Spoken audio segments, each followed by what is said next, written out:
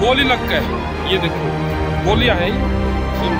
ये गोलियाँ हैं। जी। ये नहीं कि खाली गाड़ी से कुछ ले गोलियाँ भी चलाई